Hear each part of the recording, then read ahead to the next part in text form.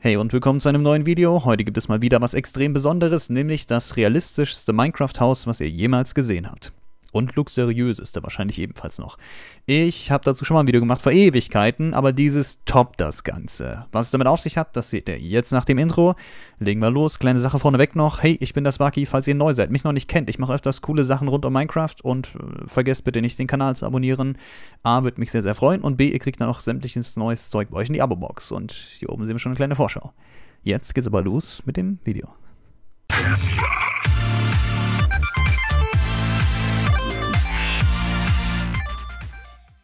So, da wären wir also. Das Ganze ist auf einem Server gebaut worden und ich habe auch ein Resource Pack reingeballert, ähm, was zu dem Server gehört. Link dazu in der Videobeschreibung, auch die kurze Erklärung, wie ihr hier hinkommt und sich das Haus selbst angucken könnt. Das ist ein Build-Server aus Frankreich, französischer Server, deswegen steht alles Französisch. Ich kann auch nicht so gut alles hundertprozentig verstehen, aber vieles kann ich mir so ein bisschen herleiten und dann, ja. Hier bin ich gelandet und jetzt legen wir mal los mit dieser kleinen Haustour. Und ich sage euch, das ist wirklich das heftigste Minecraft-Haus, was ihr jemals gesehen habt. Also, was ich auch bis jetzt jemals gesehen habe. Richtig cool gemacht und hier vorne geht's rein. Hier ist der Eingang. Briefkasten, die ist das. Wir tun mal so, als ob wir kurz hier reingelassen worden sind. Und das Besondere bei diesem Resource Pack ist, es gibt verschiedene Models noch, die Sachen realistischer darstellen. Ähm, kleine Items, äh, Skateboard oder sowas da oben. Da liegt er hier. Da seht ihr noch solche ähm, Geländer, Ketten, aber da kommen wir gleich zu. Irgendwie hier, wofür immer das gut ist, kann ich gar nicht sagen, Garage geht's rein, mit Überwachungskameras hier oben auch, die zur Straße zeigen. Und die Pflanzen sehen halt hier dementsprechend so aus. Gut, dann gehen wir mal hier hoch. Ähm, schöner Boden mit Mustern drauf und so ein richtiges, luxuriöses Anwesen. So, äh, so eine richtig kleine Villa. Gehe ich mal kurz hier rein und oh, bin ich direkt in der Garage gelandet. Und hier sind natürlich, hui, deftige Fahrzeuge drin. Die haben sogar an die Reifen. Ähm, sind das Bilder? Ne, sind auch Items. Jaguar haben wir drin. Vorne geht die Garage auf und ja, man kann es ganz gut erkennen. Banner schräg, ich hätte vielleicht Glowstone oder so eingelegt. Und hinten äh, Redstone-Blöcke. Okay, die haben da einen roten Banner reingelegt. Und hier haben wir auch nochmal einen Jaguar, nur ein bisschen größer. Hier haben wir, oh, ich glaube, das ist eine Missing Texture. Steht ein Koffer rum. Und hier, hier, ist ein Drucker drin. Warum ist in der, warum ist der Garage ein Drucker? Was druckt ihr denn hier aus? Okay.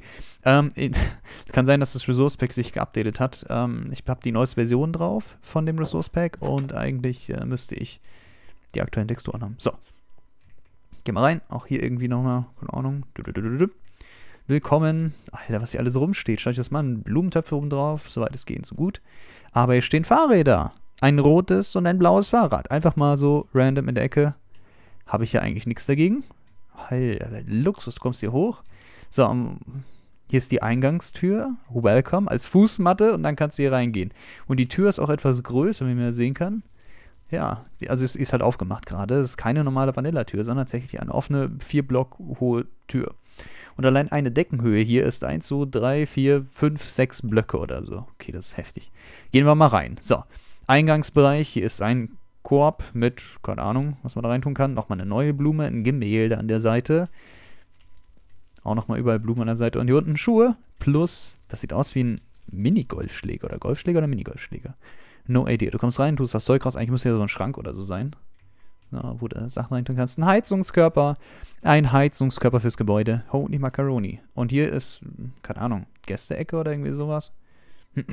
Eine Tafel für Notizen, soweit so gut. Kannst hinhocken oder auch hier draufsetzen.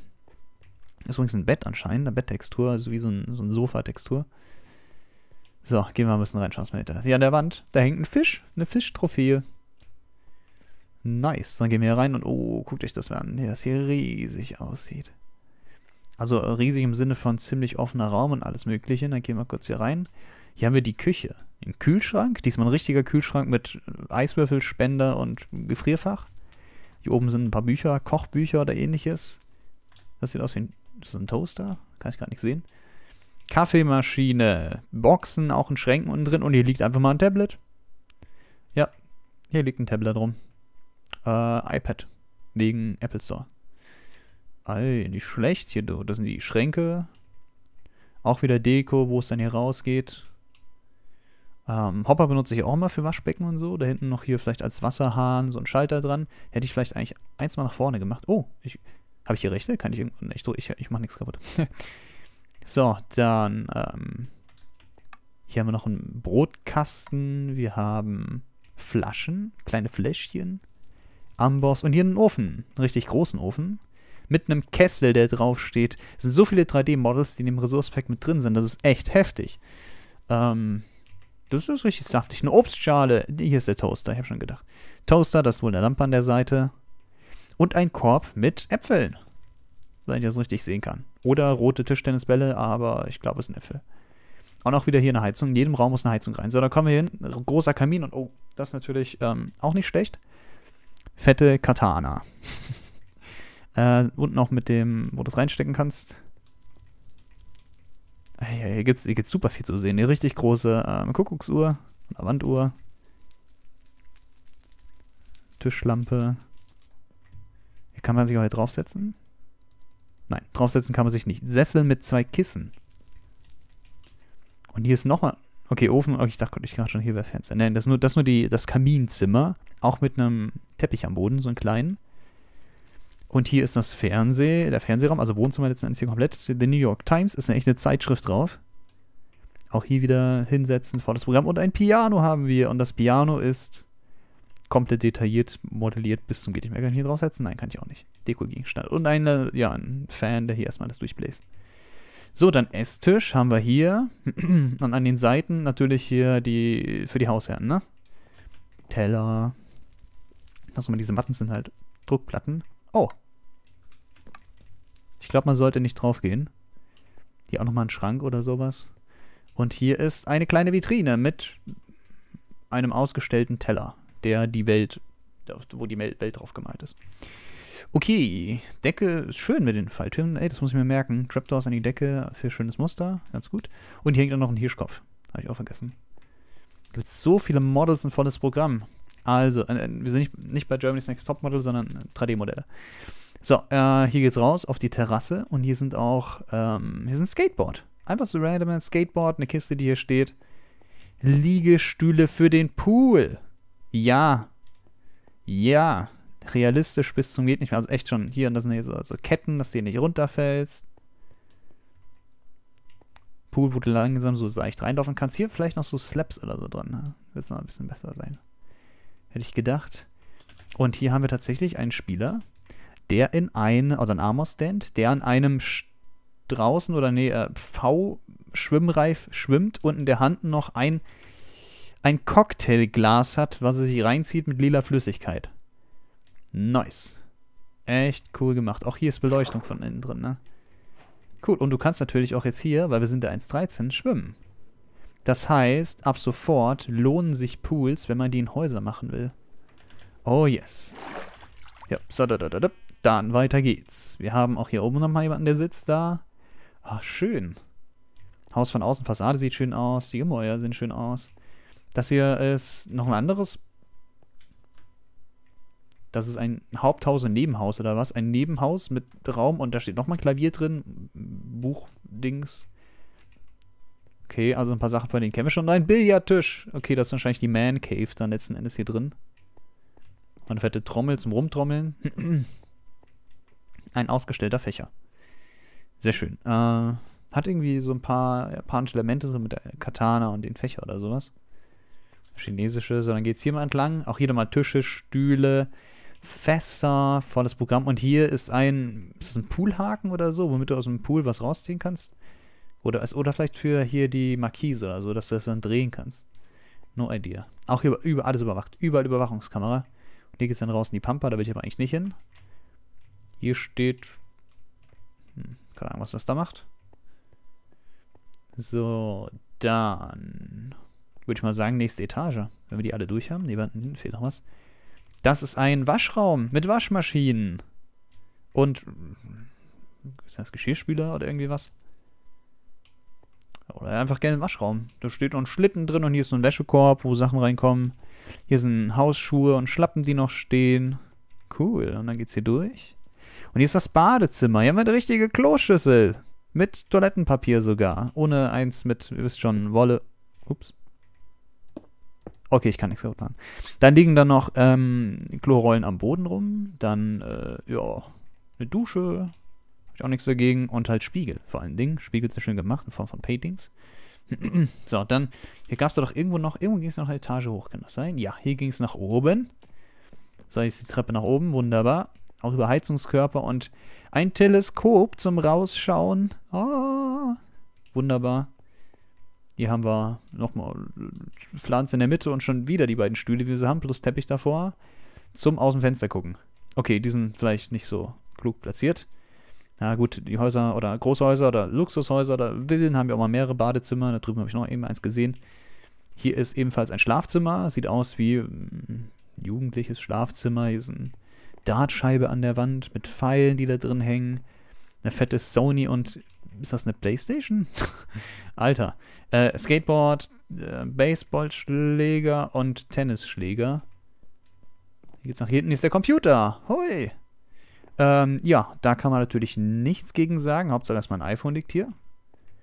Okay, soweit so klar. Hier oben fette Boxen dran. Drucker. Und hier, ach, achso, das war, war PC, ich dachte, wäre ein Ordner oder so. Aber na gut, so groß wie das iPhone im Verhältnis zur Tastatur ist, dann ist das ja echt schon das iPhone 17 oder so. Naja, also äh, auch krasse Sache. Als nächstes gehen wir ins nächste Zimmer rein. Das war soweit es geht durch. Geht es eigentlich nochmal nach oben? Ich glaube nicht. So, ist nochmal ein Badezimmer drin mit auch hier wieder Spiegeln und Jalousien für draußen. Damit man schön dunkel machen kann, wenn man sich auf den Pott setzt. Okay, auch Klopapierrolle. Schön. Und dann einmal dieses Zimmer. Das ist ein... Was für ein Zimmer ist das denn? Hier stehen irgendwelche Blumen und andere Pötte nach oben drauf. Ja, keine Ahnung, Zwischenzimmer, irgendwas, Trophäenzimmer. Ja, Trophäenzimmer, das sind Pokale, oder? Ich glaube, das soll ein Pokal sein hier. Sieht aus wie das Pokalzimmer. Ja, gut, dann. Ich schätze mal, wer so ein Haus hat, hat ziemlich viele Auszeichnungen. Ich habe genau eine vom Wettlauf der Neunjährigen beim Kinderfußball. Dann, ja, das hier müsste, ah, okay. Schlafzimmer für die Hausherren, würde ich sagen. Nochmal, ja, Gästebett ist es schlecht, also Kinderbett oder so für nebendrin. Noch ein kleines Kind, das kein extra Zimmer hat. Und hier war es das dann auch schon. Also weiter hoch geht es gerade nicht, glaube ich. Das waren die beiden Etagen. Ich würde mal ganz kurz hier nach oben flobbern und mal von oben auf das Haus gucken. Wir haben es jetzt nur von unten gesehen. Gibt bestimmt ein paar Details, die ich nicht jetzt gesehen habe oder so. Aber ja, macht Sinn. Oben Dachboden. Die haben sogar eine Satellitenschüssel drauf. Eine Satellitenschüssel auf dem Dach. Nicht verkehrt. Und hat hier so richtig in Bergen eingehangen und hinten ein bisschen verwuchert, verdichtet. Ähm, von außen, vor den Fenstern, hier sind Blumen oder irgendwelche Dinger noch. Das war krass von der. Ist eine krasse Fassade, muss ich sagen.